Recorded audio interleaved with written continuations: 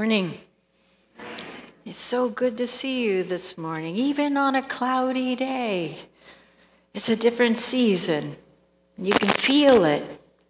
And in some ways, it feels so refreshing to me. I don't know how it feels to you. There's something even about the gray and the Pacific Northwest that makes colors pop. And that is beautiful. Even walking in the rain can be beautiful. Later, I may change my tune, but today I'm sticking with that story. So, good morning to you all, and welcome to worship here at Fauntleroy Church, United Church of Christ. I'm the associate pastor here, Karyn Frazier, and Pastor Leah is helping with our kids today on a special project downstairs. So she is here also, just in a different space of worship.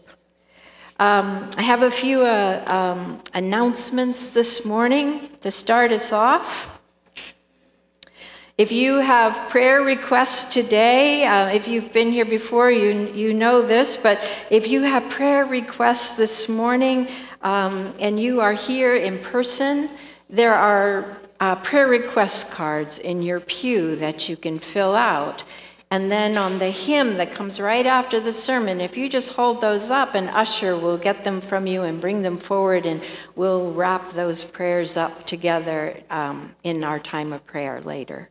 So you can do that. I had some prayers that came in to me from online, so those of you who are worshiping also at home, thank you for sending those in in advance.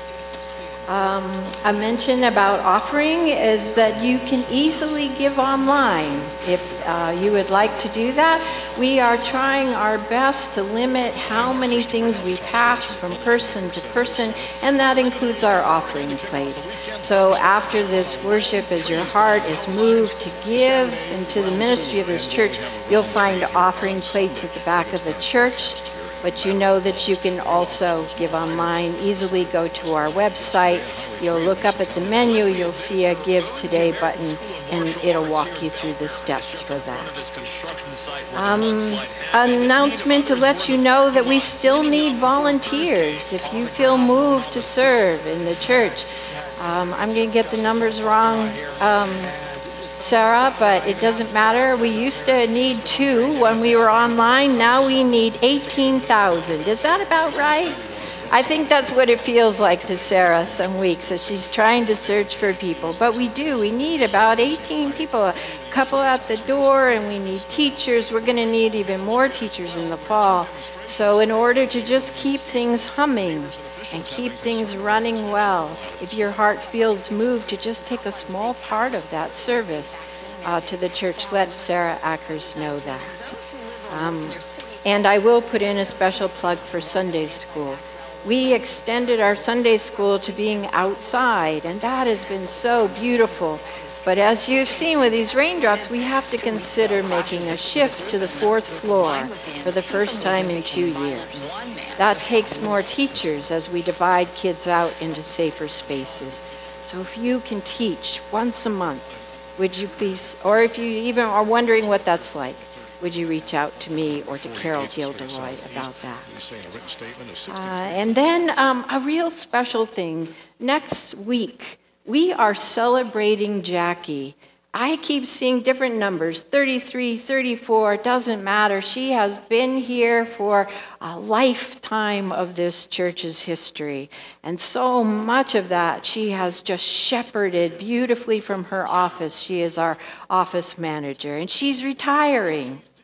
And that is an extraordinary thing, but what a transition for us and for her. We want to celebrate her next week. And there are a lot of little ways we're doing in order to get some big love wrapped around her next week.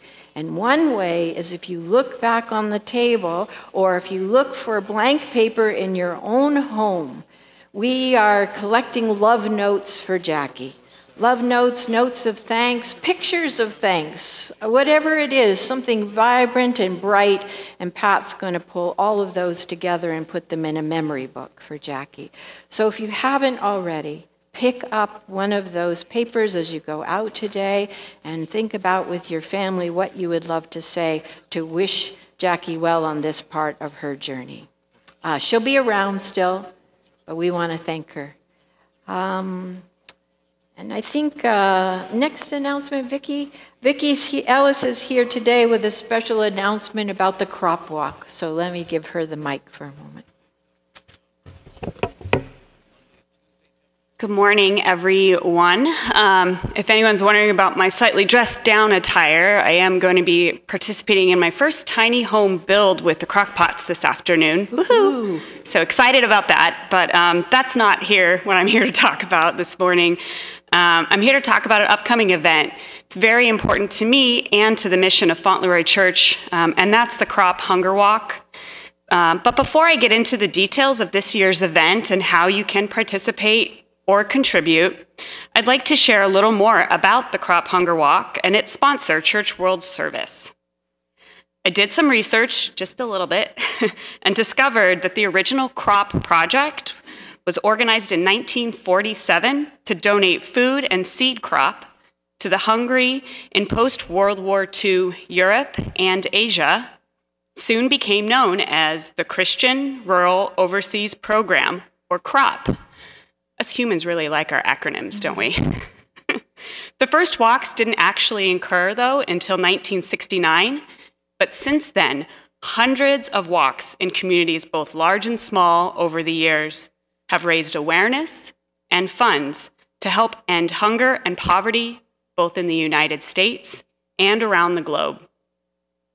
What I love most about Church World Services programs is that they are sustainable responses to hunger, poverty, displacement, and disaster, and that 25% of the funds raised are returned to the local communities to support efforts that are close to home. But here are just a few ways that your donations and participation can make a difference. $25 can equip a household with a water filter to supply clean water for drinking, washing, and cooking. $50 can provide two months of groceries to refugees as they adjust to a new place and situation. $130 is enough to provide four months of meals for a family of four here in the United States through food bank networks. $250 provides 1,000 mango trees for five farmers and their families, which provides not only sustainable nutrition, but is a great way to prevent soil erosion. These are just a few ways that every dollar can count, and we can make a difference. In order, if you're wondering how you can register to participate, there is a website link in your bulletin. But if you receive the Thursday highlight emails as well, that information is shared through that medium and gives you information on how to join the Fauntleroy team. Similar to last year, we are walking separately at a time and place that works for your family between October 3rd through the 10th. If you can't walk, though, know that you can sponsor our team by donating online and helping us reach our goal this year of $8,000. Again, every little bit helps. Also, don't worry if you're struggling to find the Fauntleroy team.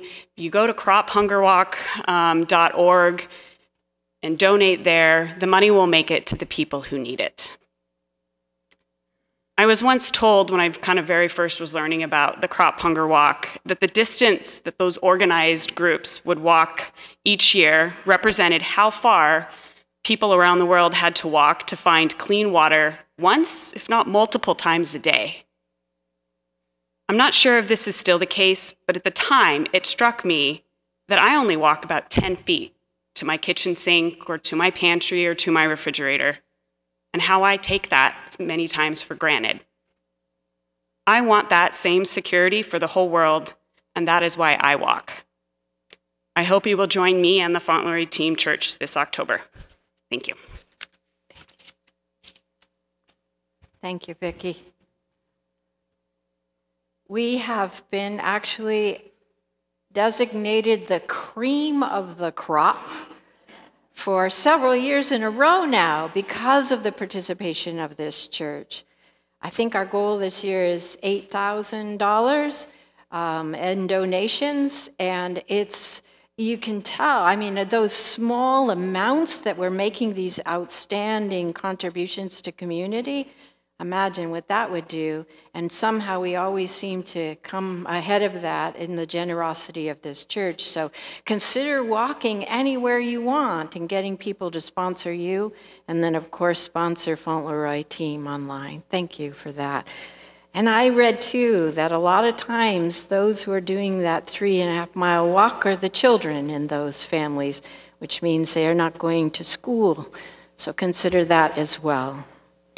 Um, I, uh, I want to introduce to you today, as I was saying, we need volunteers. Well, we have them here this morning. So I am just grateful that Braun is here doing music for us. And Ben, there's a crowded AV room this morning. Ben and Clem and our new um, communications manager, Hope, is here, but up there, so you can wave to her if you'd like, and you are here. And I, uh, Mike is here, and Josh is here, working on sound this morning, and Steve and his usher team, and Carol Gilderoy is outside, like I said, with Leah and Jenny Mant, uh, teaching and leading. And thank you, Donna, for being here as liturgist today. It takes all of us to just do a little to just have this wide open welcome of worship. I hope you feel that welcome this morning, whether you are here present with us or wherever you are worshiping with us this morning. I hope you feel welcomed. We say here, whoever you are, wherever you are on life's journey, I hope you feel the truth of that sink into your heart and into your soul. And I would love to invite you to let that center you this morning. The world is in an interesting space. I don't know if you feel it, but I have been. Whether we are wondering about care for people on the border, whether we are wondering about people in the South trying to rebuild from storm damage, um, whether we are anticipating people coming with very little of their own as refugee, the world is shifting. And a lot of that is looking for home and welcome. So let's take a couple of seconds and center ourselves in that shifting and centering and wondering what is God calling us to do.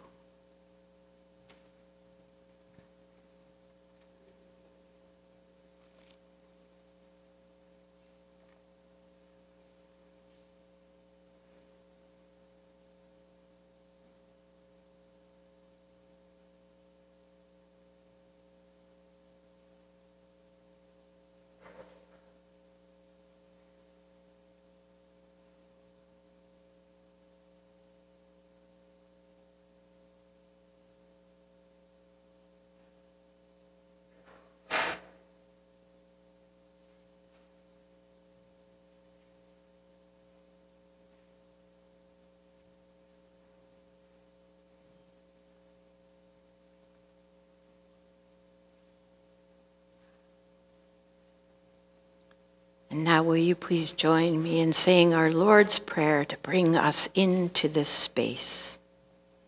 Our Creator, who art in heaven, holy be thy name. Thy kingdom come, thy will be done, on earth as it is in heaven. Give us this day our daily bread.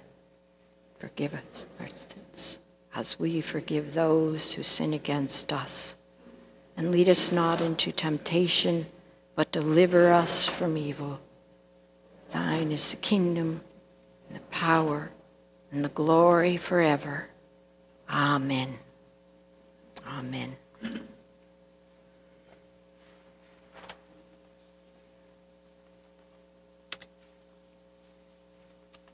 And now, having centered ourselves in the presence of God, would you please rise as you are comfortable and able? And join me in our call to worship.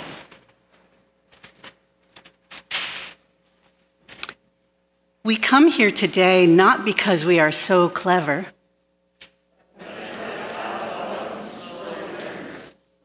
We come here not because we are so wise.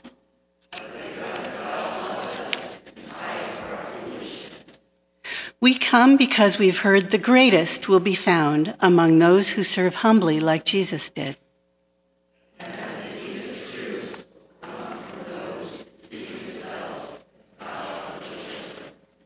Children of God, come in and sit down. Come be embraced by a surprising, welcoming, transformative love that is not like anything else in the world. You may be seated. Our opening song is Part of the Family. If you're at home, you're encouraged to sing out. Those of us present here in the sanctuary may hum.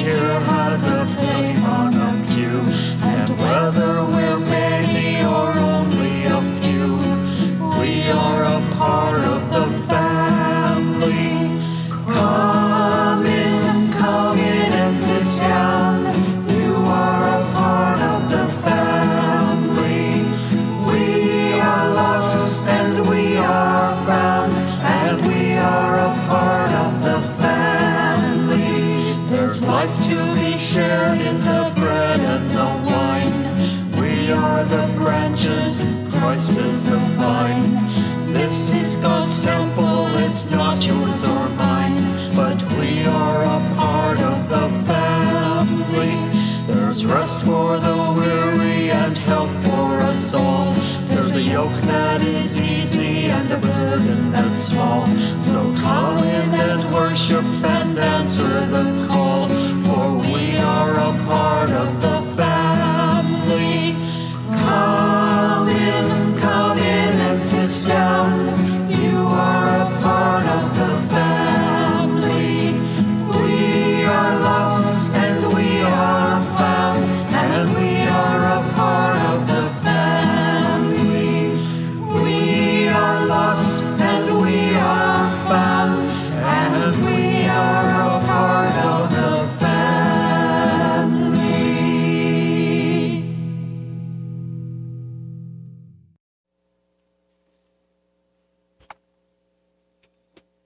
The last few Sundays, we have been exploring the epistle or letter of James, and James' emphasis on what it takes to be a follower of Christ. We shift this morning to our passage in the Gospel of Mark to notice what being a follower looked like at the start. Jesus has turned toward Jerusalem and has been urgently preparing his disciples for what's ahead and the reality of walking this way of radical love. But over and over, they just don't get it. So he tries again. Listen for the word of God in Mark 9, verses 30 to 37.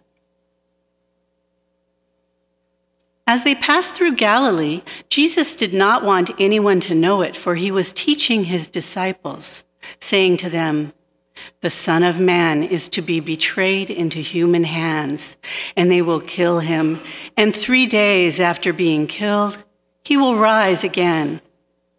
But they did not understand what he was saying and were afraid to ask him.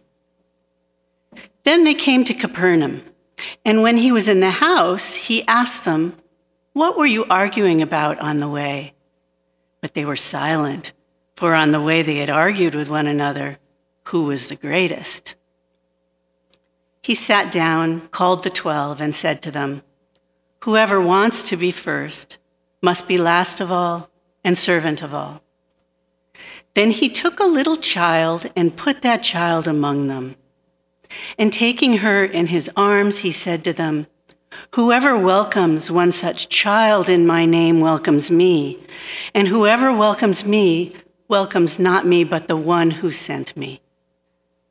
Thanks be to God.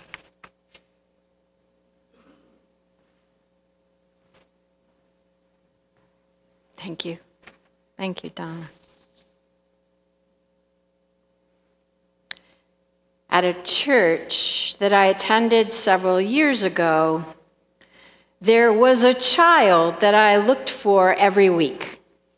And I think we all waited for the time with children to see what would happen if he showed up. And from the first time his mom brought him to church, he zipped right up to the front, sat in the circle with kids around the pastor, and he listened most of the time. Most of the time, he was listening. And if he liked what he heard, he would lean in and then just flood you with questions.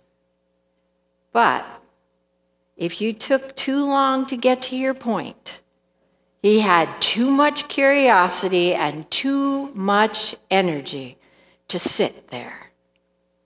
And so, my favorite morning was the morning when he log rolled his way all the way to the back wall and underneath the altar.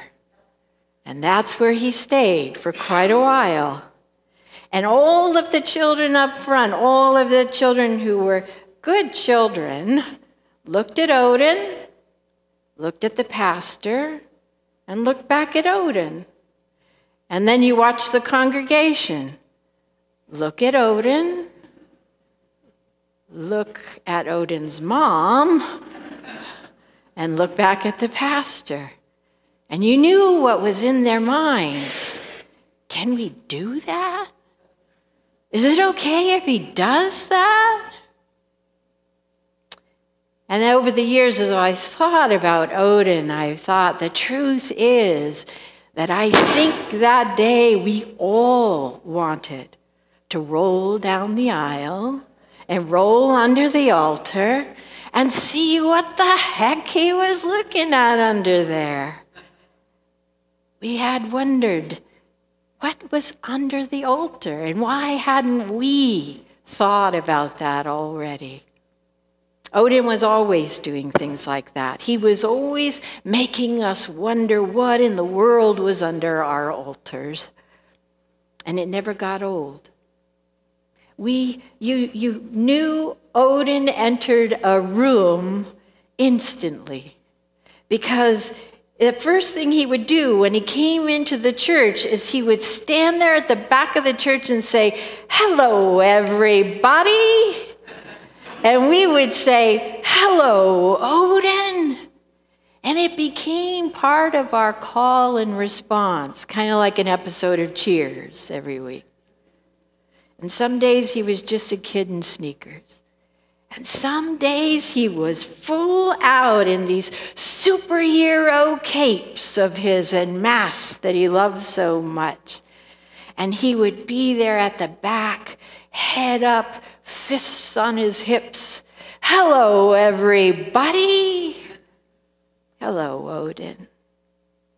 I love that child. We've got few of those kids in this church too. I was thinking about all the Odins this week as I was reading the scripture, as you were reading the scripture this morning.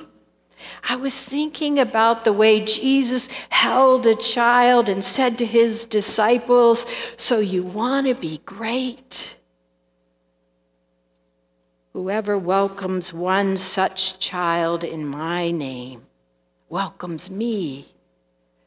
And whoever welcomes me welcomes not me, but the one who sent me. And maybe as you were listening to Donna, you were thinking, is that all it takes to be great? I can do that. I can love like that. And the answer is yes and no. if Jesus had taken Odin or any of our children into his arms this morning, that wouldn't have seemed like much for any of us to do, to be great.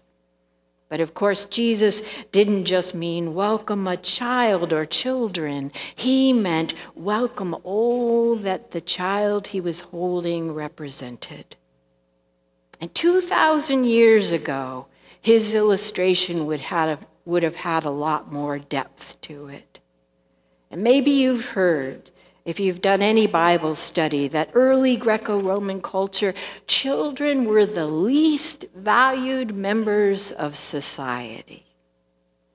But to put more of a point on it, I want to tell you that's because children were considered not yet fully human.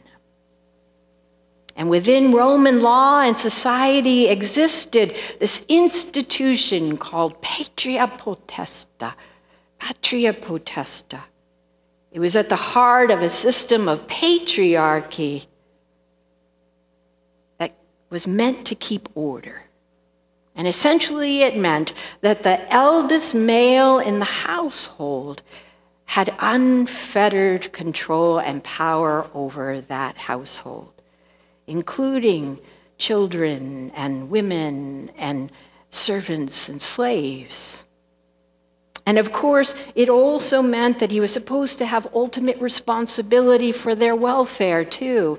But even if he was irresponsible, he still had unfettered power. And this power was meant to mirror the power of an emperor over a whole nation or a god over all people. So a father could rightly brutally punish a child, or sell, or pawn, or even, sadly, kill his own child without repercussions. And the kinds of things, these are the kinds of things that, that you can only imagine, or that I can only imagine in a society that would deem people not fully human. And newborns could be abandoned in public places if they were thought to be a burden or they were thought to be weak in some way. And baby girls were especially vulnerable to this. The status and treatment of children in the Jewish community was more positive. Children were considered blessings from God, but we all know that powerful systems of empire root themselves even into the best intentions and the best and blessed places. And so you've just heard the story that Donna read, but in, in just a few more chapters in the same gospel, the disciples will rebuke parents for bringing their children to Jesus for a blessing. It's such a waste of a Messiah's time, they thought. They just heard this message. And now you know a little more about what's at stake and what Jesus is saying to us. He takes a child of his time in his arms and he says, Whoever welcomes one of these vulnerable ones, one of these, one of these deemed and treated less than human, welcomes me. And whoever welcomes me welcomes not me, but welcomes the one who sent me. Jesus is changing the rules of the house And he's changing the whole idea of great and powerful, too. He identifies himself as a servant to the most vulnerable ones of all. And then, more importantly, he identifies the most vulnerable ones of all with God. This is a tremendous reversal. In a world where people associate greatness with gaining power, and where the great look down on the powerless, and where great means to conquer and to compete and to win, so you climb the social ladder, and where being vulnerable means losing and falling. In a world like that, Jesus says, I'm keeping company with the so called losers and fallen. And if you want to be great and have God at the center of your house or your community or your life, join me and welcome and love someone like that. Welcome the ones who might just damage your reputation in the neighborhood. And welcome the ones who act up instead of our idea of acting right or looking right or loving right. And if you want to be great, Jesus says, welcome someone who is depending on you to see them as fully human. And I have been thinking this week about all the ways the disciples in the Gospel of Mark just don't get this idea of great. And actually, as I thought more about it, I had to be fair, and I thought, well, sometimes they do get it. Love the Odins of your life and love the little children and those most vulnerable preaches well anywhere in any church on a Sunday. But on Monday, on Monday, it's hard to remember and it's harder to live out because, frankly, it doesn't add up. And sometimes it makes us afraid of what we'll have to give up to live like that. And you have seen the resonance of a slogan like, Make America Great Again. And for those who believe, it means the end is unfettered power. That's not all, but that's some. For those who believe the end is unfettered power, it seems to justify the means of treating others in the human household as though they are less than fully human. And this seems irresponsible, even evil sometimes. But try getting elected with the slogan, Make America Servant to All you'd be laughed off your soapbox for that. And if by some chance you did manage to attract crowds with a slogan like that, you might even be labeled dangerous. In today's scripture, it's clear that even the disciples aren't so sure about Jesus' idea about greatness they don't think his greatness is so great. And who can blame them? And one commentary put it this, this, way this week you, you have to remember that the disciples came from the lower rungs of the social ladder. And by now, it seems like they've graduated to this privileged entourage of God's Messiah. And look what they can do from this height that is greater than their fishing boats. They're drawing crowds and they're teaching the multitudes and they're casting out demons and healing and ushering in a new world order. And they have their capes on and they have their fists on their hips. So, what's wrong with that? But Jesus calls them out. Why? Because he can tell they are ready to jump in and do what it takes so they and those on the bottom rung finally come to the top. But it's clear to Jesus that they also intend to keep the social ladder in its place. They say all the right things on Sunday, but on Monday they start climbing the ladder again, imagining a day when they will have power over others, using the same sinful structures and tools of the empire, but expecting different results. And even on the road, right behind the Son of Humanity, they begin loudly arguing among themselves. I am the greatest. No, I am. No, I'm the greatest. No, I am. And he calls them out. As long as you insist on staying one rung ahead of somebody else, God is not at the center of what you are doing. They had thought that they were following a Messiah who was dazzling and powerful and on their side, a revolutionary who would come out on top, fists on his hips, caped up and great.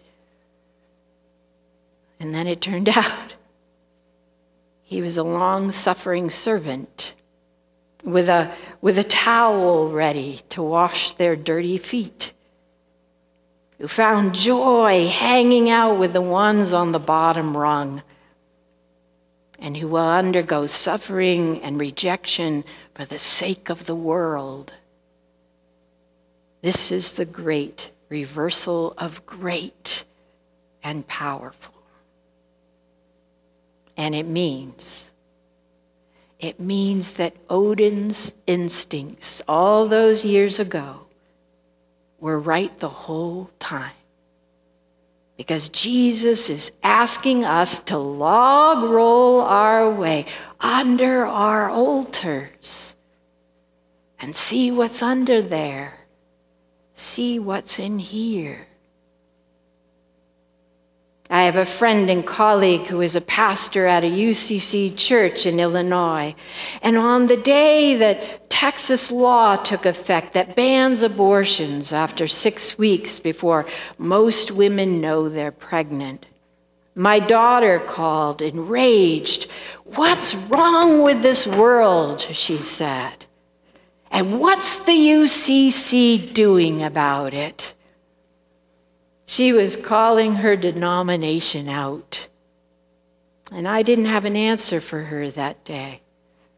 But I saw a post from my friend Mark, whom Catherine respects a lot. And I noticed he was calling Texas out. He wrote, Congratulations on being pro life. Now let's look under that altar. What does it mean when a governor has issued an executive order banning mask mandates, putting the lives of caregivers and vulnerable and especially unvaccinated children in jeopardy? And what does pro life mean when a state legislature rejects the expansion of Medicaid, which would have helped the uninsured get access to basic health care for their family? And what does pro life mean in a place where you can carry a gun without a background check, permit, or any training on how to use or store it safely? And what does pro life mean in a state that has executed the most people in any state in the Union going back to 1930? My friend and prophetic UCC pastor, Mark, was calling this out. Actually, what he wrote was, I call BS. And he had looked under the altar of pro life and seen the whole foundation it was built on was unstable and even rotten. And he called BS. And then he called people to demand our laws and our society center itself in something greater, something more loving, and with humility and kindness and humanity for the sake of all God's children. And he wasn't only talking about Texas, he was talking about what Texas represents And to put more of a point on it, if we say we follow Jesus, how might we embrace the little ones in the crowd of 15,000 Haitian immigrants on the border in Del Rio, Texas, standing in filth and in today's 100 degree heat? They are hoping for welcome anywhere safer than where they've come from. And how will we welcome the ones coming to our neighborhood after decades of war in Afghanistan with nothing and as refugees, and many of whom, by our laws, will not be able to access social services or health care or even work permits when they get here? And last Thursday evening, the Reverend Rick Reynolds was in our own fellowship hall asking, Can you welcome 10 men to sleep in your church? We have at least a hundred, he said, looking for shelter downtown every night. You don't have to do anything, he said. Just unlock the door and let them sleep overnight so they can feel a little more fully human in the morning when they catch the bus. How can you help welcome one of these? He asked. They are God's children too. Or start smaller and closer to home. What will we do to welcome those who come every week to the welcome table in White Center to get a hot meal? and some clothes and some canned food to feed their children from Monday to Sunday. We are the welcoming committee next Saturday. How abundant will that welcome be? And I don't have all the answers to all of this yet, any more than you do, or anyone does. But I have been thinking, doesn't it seem like these days Christ is knocking on our door and calling us in too? Doesn't it seem like he's standing there, head up, caped up, fists on his hips, shouting, Hello, everybody! How wide is your welcome? You cannot embrace all the Odins in the world. But which one can you embrace?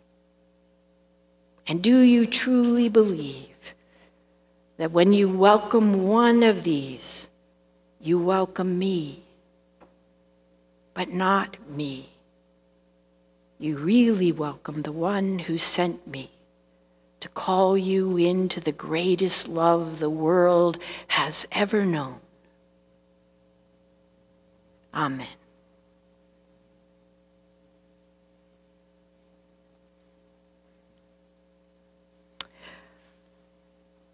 Our hymn uh, right now is a new one that Braun has put together for us. Gentle is the way of Jesus let it wash over you with its own questions.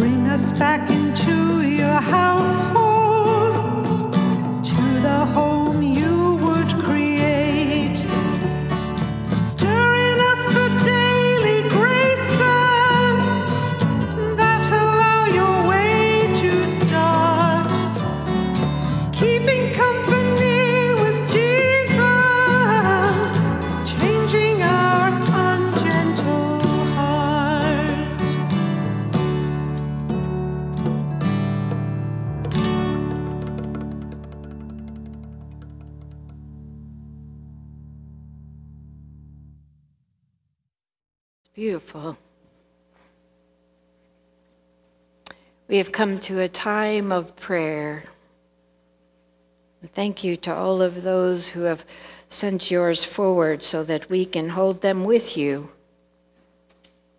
I had some come in to me as of even this morning. Patty B asked for prayers for her daughter as she prepares for knee surgery next week and also prayers for her cousin's sister in law, who just received a diagnosis of serious cancer.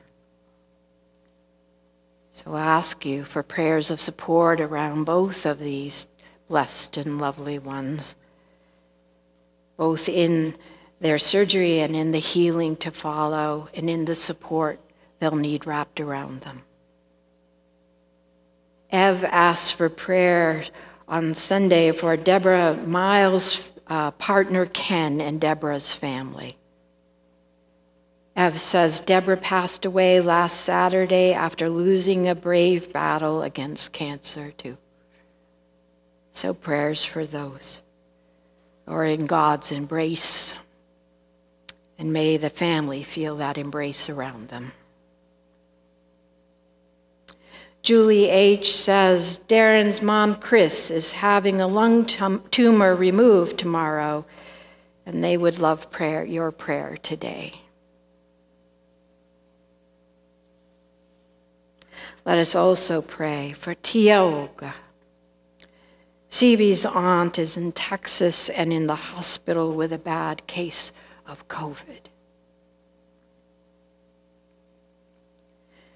God's breath in her, God's healing breath.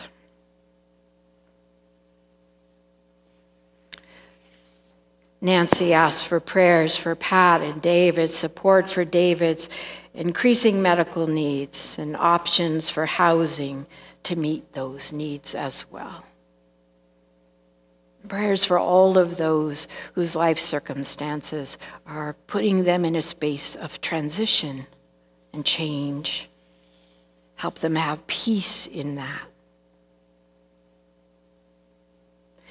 Nancy asks for prayers for Deb.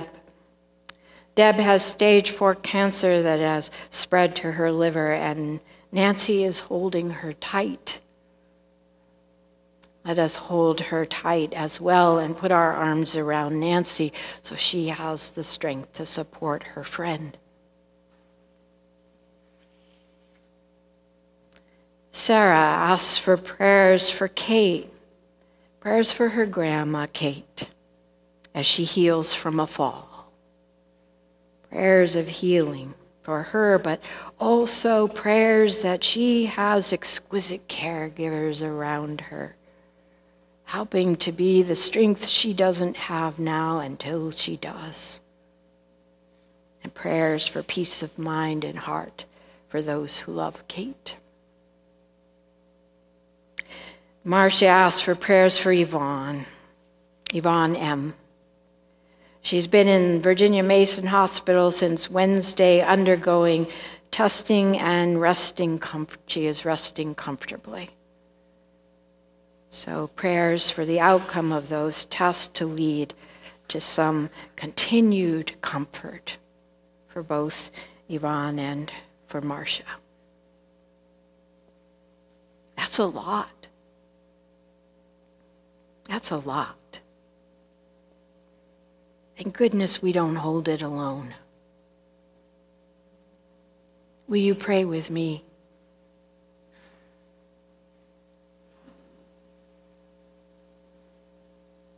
Oh, great Abba God. Sometimes we are slow learners and full of foolishness. Thank you for loving us in spite of that. Thank you for looking into the heart of this community and seeing there is caring there.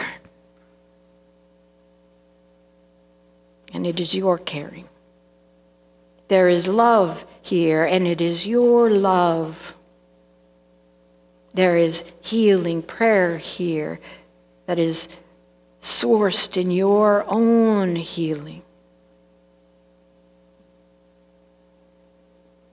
Help us be centered in that always, and especially now, as you have heard named out loud the weight on the shoulders of those in this household. And we know you, you already knew these prayers long before we added words to them. We add words to them to bring us closer to you, who are close to our loved ones, and therefore close to our loved ones too.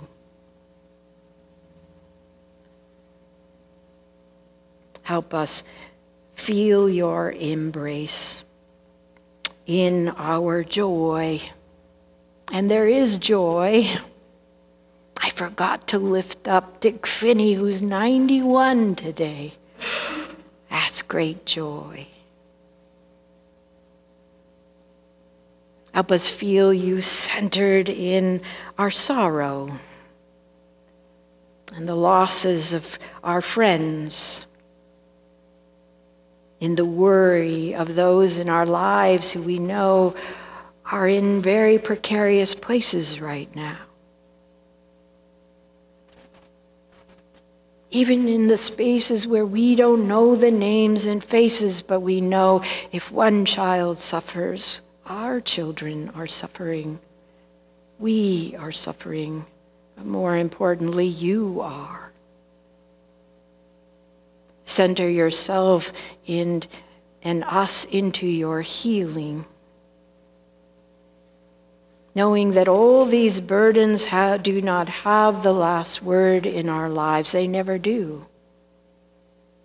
Your love is blessing and pulls from all that we feel as weight a lightness of resurrection and transformation, comfort, assurance. Help us feel that too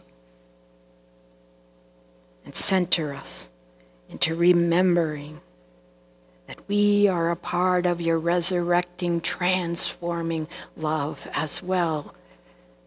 And so are the prayers that we have deep within us that don't have words yet. Hold us and heal us and fill us and turn us toward our neighbor to do the same for them. We ask these things in your Son's name. Amen. Our final hymn is Children of God. Enjoy.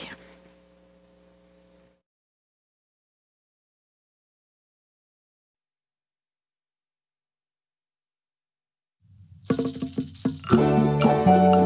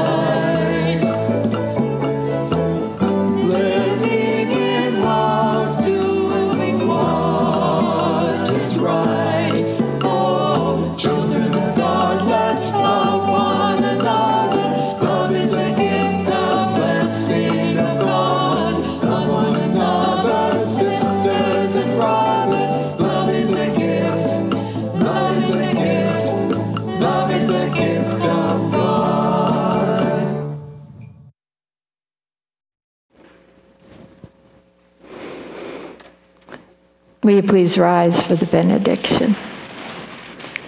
At the end of this that song, don't you always want to go cha cha cha? Yeah.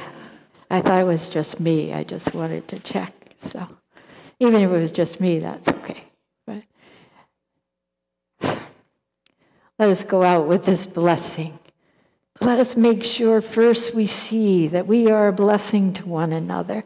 Take a moment and look around at those who are here and really see them as fully human and fully children of God. As you go out on this Sunday, don't forget that blessing within you on Monday. Don't get back up on that ladder too fast.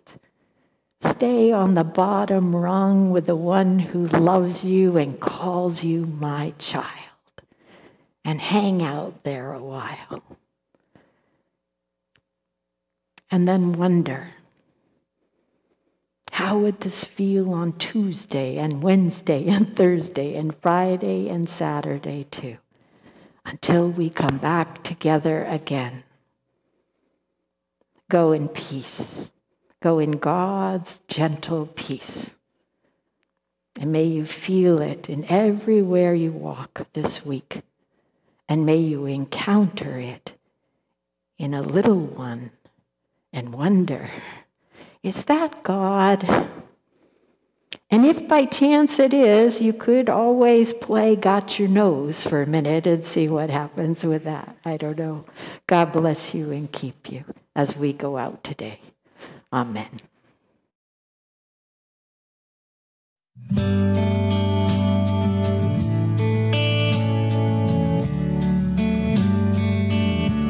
Whatever is true, whatever is kind, whatever is noble, keep this in mind. Know you are held, God's love keeps you close.